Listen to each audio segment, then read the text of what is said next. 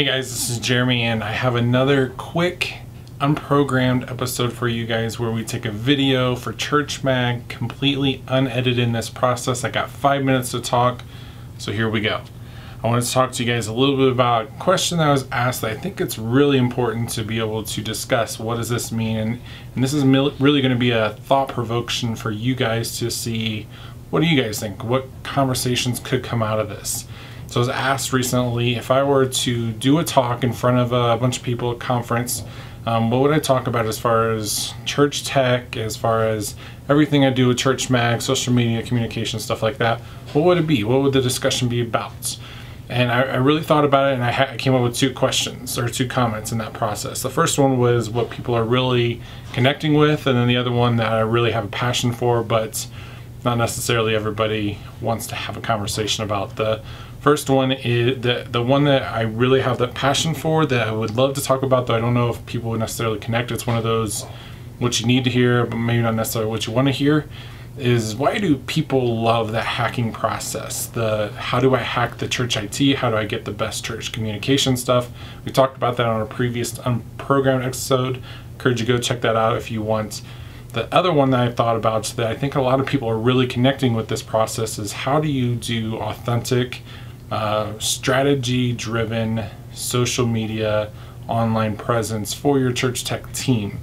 And the, the big things I think about when I have this conversation that are coming out in this dialogue that I have with ChurchMag is we have the devotional that's out. So we have the podcast where we talk about women in technology. We have the articles on pornography within church tech and how do we do that best. And you guys are connecting with that so much the ability to really engage with that process, that authenticity, that how in the world do we do discipleship? How do we evangelize online? I think you guys are eating up really well. Now, that being said, I think there has to be a real thought process that goes behind that. It's not just something that you would do to say, okay, should I be on social media for Snapchats and is there a way I can kind of get out of it? Um, we talked about that on a podcast episode where if you have a whole strategy put together, you can piecemeal module that whole process however you want. And if you don't have the time to do that, to do your strategy really well, then you ignore that process. I think within that strategy, you have to understand how to do event planning, you have to understand how to do discipleship, evangelism, you have to really understand what it means to cultivate that response. What does it mean for Christians to be online? I think all those conversations come out in that process, which really, at the very heart of it, breaks down to authenticity. When we talk about these conversations in a non digital sense, when we're interacting with people, we have so much literature out there that says, How do I do this well? And I think, in the most part, that can translate over, except we have to put that digital aspect onto things. We're not necessarily thinking about what's the best way to evangelize in 140 characters I think we have those brochures that people ignore. I think that we then say, well, we need to have a conversation and dialogue and develop that relationship. Is that possible on social media? People have said yes, and other people have said no.